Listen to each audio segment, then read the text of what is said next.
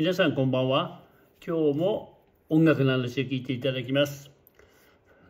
例えばドイツへ行って先生に撮ってもらう時には歌ですと先生の前で歌うフォアズゲンっていうのがありますね、えー、そして自分が教えたいなと思う人教えて伸びそうな人だったら自分の弟子として取るということを先生がその場で決めます。フォア人言と言われることがありません。それは日本語的にパンパンパン。フォア人言ですね。えー、人言の歌ですから、歌う歌ですから、あの楽器だとシュピールンと言って、フォアシュピールンですね。フォアシュピーレン。最後の N は強く言いませんので、シュピーとか、ジンにアクセントがありますから、ジンゲン、ジンゲンとか言わないんですよね。ファーター、お父さんと言えない。ファーター、ジンゲン、シュピールン、フォアシュピールンっていうのが、バイオリンとかピアノとかで、うん、じゃあまあ取ろうとかいうことになって、私もフォアジンゲンしましたね。手紙を一通一回しか出さないでドイツに行って2週間した時に先生に電話しました、うん、半年前に手紙を書いたなんとかです。やっとドイツに来ました。フォアズンのしたいフォアズンをしたいと思していただきたいと思うのでいつ伺ったらいいでしょうか。なんとかなんとか。じゃあ1週間後だったと思いますね。その何曜日の何時にうちで待ってる。ということで、住所は何とか何とかでいいんでしょうか ?OK、そこに来てください。で、自分の歩いてるところ、自分の住んでるところから歩いて12、3分、約1キロでしたね。街は小さいくてそこを歩いていける感じだったです。1週間待って、ふんふんふんふん、調子を整えて、そのフォア次元行きました。ノックすると先生が出てきてどうでしょう。1メートル85、6はあった背の高いドイツ人です。私は76、7ぐらいかな。176 76、7だと1メーターないことになっちゃって犬みたくなっちゃう。176、7ぐらいですね。先生は私よかも10センチ78センチは高かったですね。まあそれで握手をして彼ら結構きつく握手します。まあ会ったばっかりだからそんなきつくないけど日本人と握手したらもうわって触るだけっていう感じですけどね。外国ではきつく握手をします。それはもう前から慣れていましたので。でこうこうこうと言ってピアノのある部屋に通してもらって自分のことを語って先生が質問してということが15分ぐらいありましたかね。じゃあ、フォアズミンで歌ってもらいましょう。何を歌いますかと言って、実はイタリア語が得意なんだけど、ここはドイツですから、モーツァルトのドン・ジョバンニの2つのアリアを歌いました。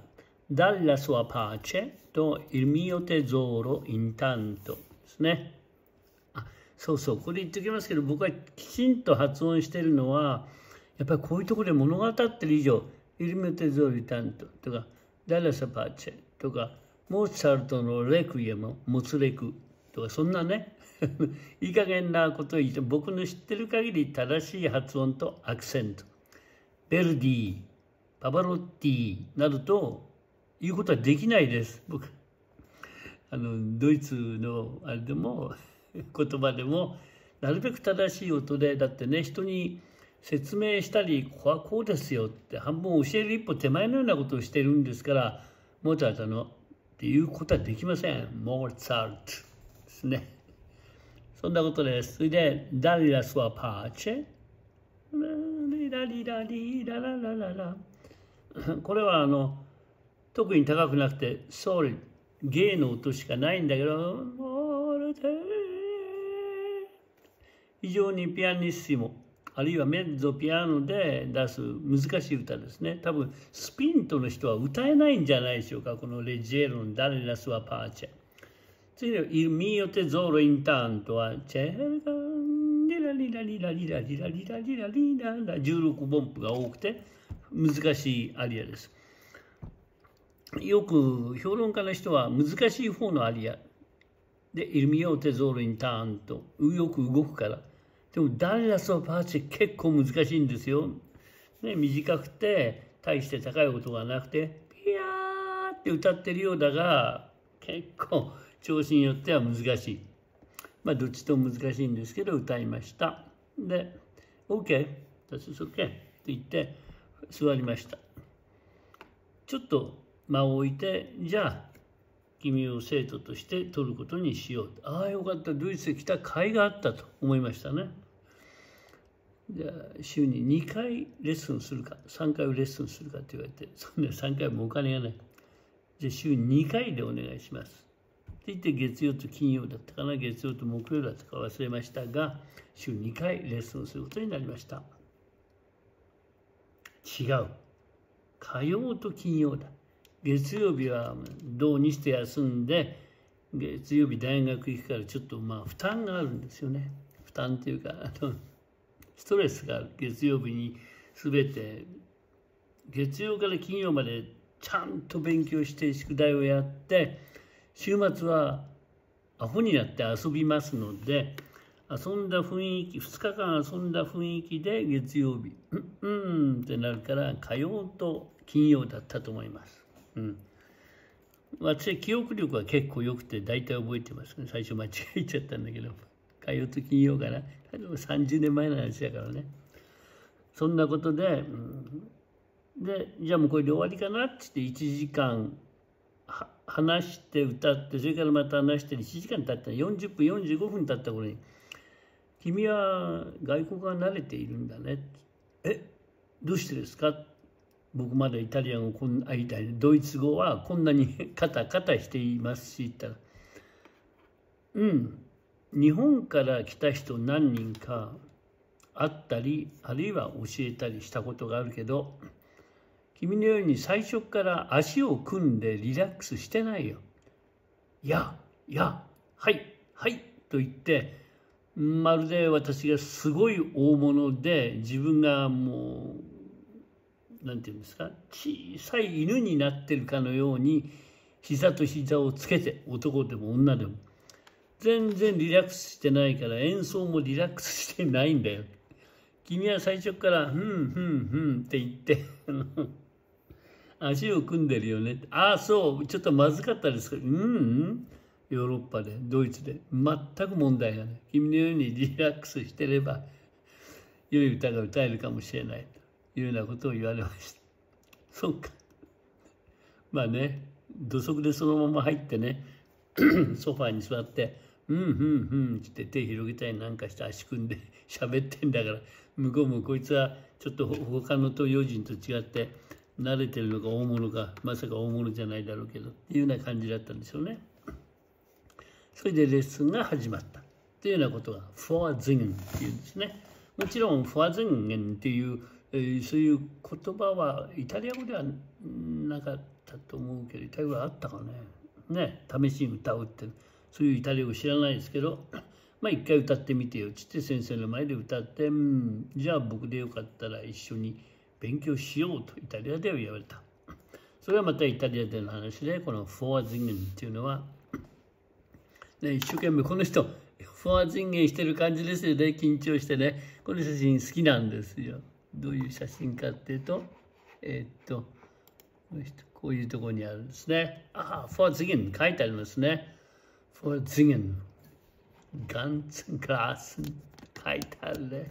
これはもう、いい写真です。あーっと頑張って。この顔ではいい声が出てないでしょう。緊張した喉からの声が出てるけど、頑張ってるね、姿、ドイツの。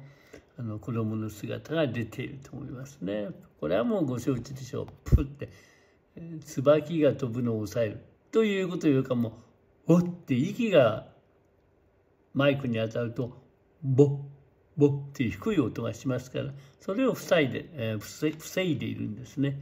ちょっと歯の具合が悪くてうまく発音ができません。どうでしょうか。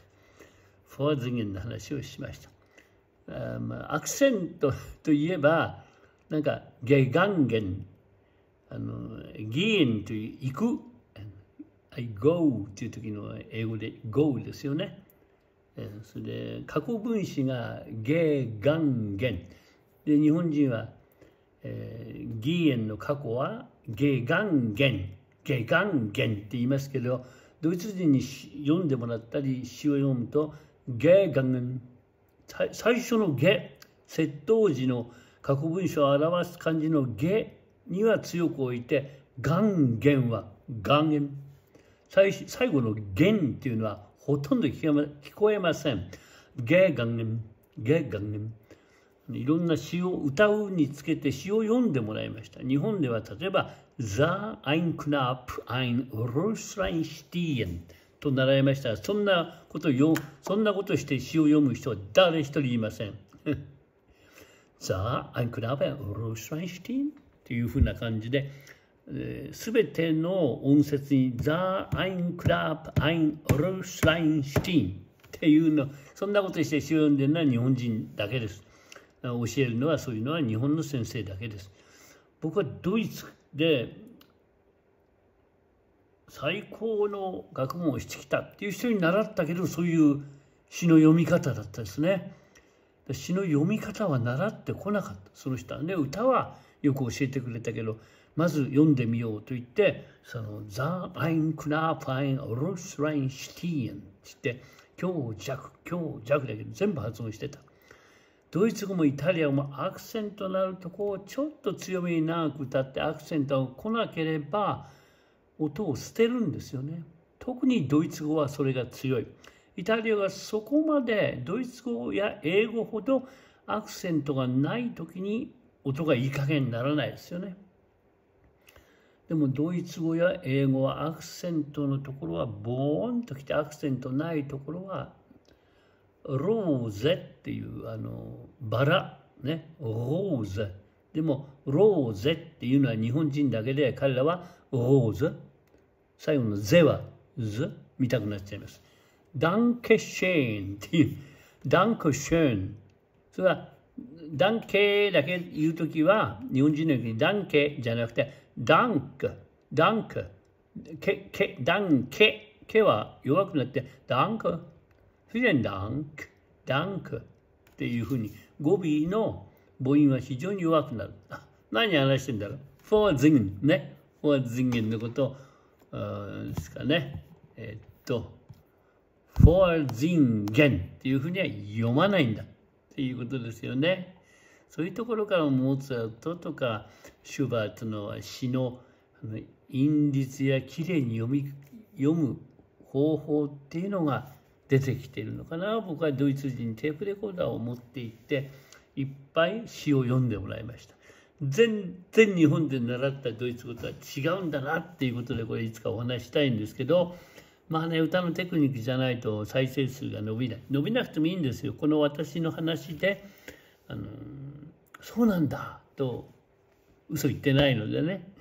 気づいてくれてじゃあ自分もどうしたらその方面伸びるのかなっていうふうに頭キラキラしてもらう何人かの人にそれが私のこうなんていうか生きがいっていうかこれをやってることなんですね。今日も聞いていただいてありがとうございました。